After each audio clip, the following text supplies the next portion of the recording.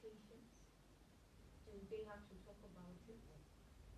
What are some of the common problems that stem from the lack of sex or more sex? You see, I want to caution the women who think when you find a thick, tall man, it means that he has a strong, strong, heavy, and nice and long dick. No. No. If you, you see a thick, tall man, because he's thick, tall, you size it that as for this man, his penis to be nice and enjoyable. What? Don't be deceived. I know there are some men who are thick, tall, and there's something like this hanging there. Something like this hanging there. So if you're a woman and you are judging a man because of his size, the size of his body, eh, I mean that's the only kind of man that I want. And you get on the bed and he's looking for where he places his penis. He can't even find it. So the bedmatics become a disaster right from day one. I know women who have run away at the honeymoon. Wow. You know, that's why I'm one of the Christians who think, listen to me, I'm a woman of God, I'm a pastor. The name of my church is Authority Bible Church. We meet at La Palm Royal Beach Hotel every Sunday at 3 p.m. You are invited. I am one of the women of God who thinks that before you marry a man, you must see his penis. You must see it, you must hold it, you must feel it, and make sure it's working. Ah, why are you being like uncomfortable like that? No, I, I, I want to make a Let me take a cup of tea. yes, you do. Let me drink water.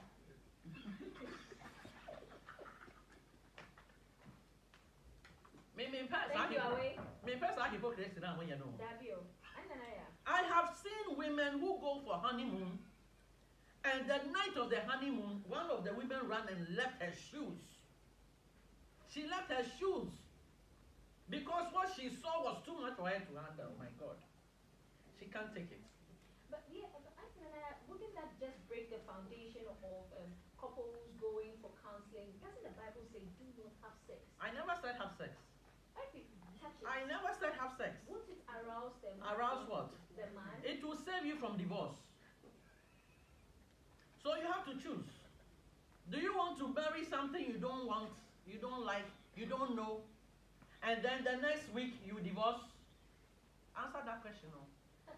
Your guess is as good as mine. And I'm talking from experience. Okay, A- Angela, how about the how about the men? They also go into the marriage expecting something, and then they go and find something else about the woman's maybe Oh, women, Lydia, it's easy to deal with it because it's just a hole. Women is easy to deal with it.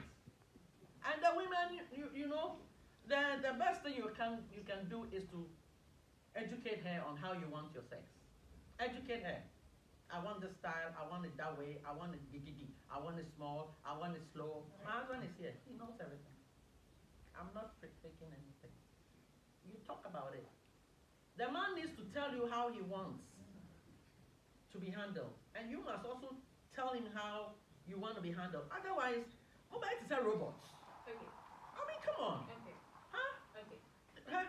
One day I'll, I'll start a show and talk to pastors about their sex life. Pastors are human beings. Some of them are giddy giddy. Some of them are boko boko. Huh?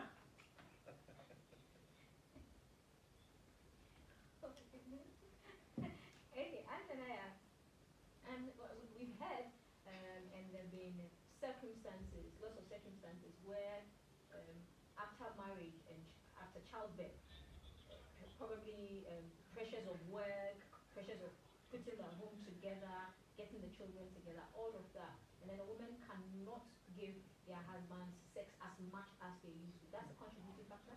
What would you advise women who are in this um, this circumstance, and even men?